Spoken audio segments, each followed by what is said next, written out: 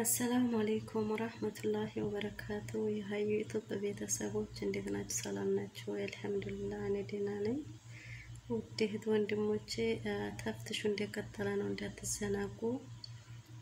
በኪሎ አሽራ እና ኪሎ ተማንያ ዛሬ ሲሰበር አድሯል። ሌሊት ዘጠኝ ሰዓት አካባቢ ያው ተጠንቀቁ። ቤት ያለን እህቶች እንጠንቀቅ፣ ጥንቃቄ እናድርግ።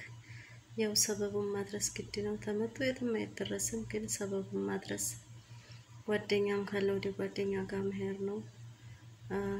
ሰበብ እናድርስ እህቶች፣ አላህ ይጠብቀን።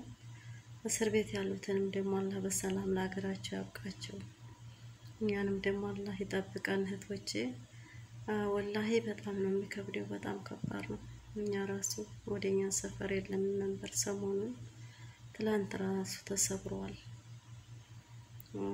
አላህ ይጠብቀ ወንድሞቻችንም አላህ ለሀገራቸው ያብቃቸው።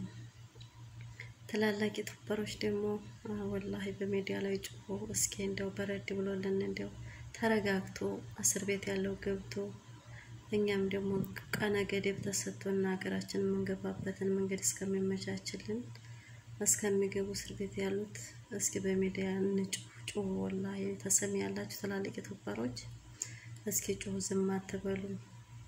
ህፃን ልጅ እስር ቤት እየሞተ መጫት ነፍሰ ጡር እየተያዙ እስር ቤት እየገቡ በጣም ከባድ ነው። ከስተ ዛሬው ለየት ያለ ነው። ወላሂ በጣም የሚከብድ ነገር ነው እና እናንተ ተሰሚ ያላችሁ ጩሁ።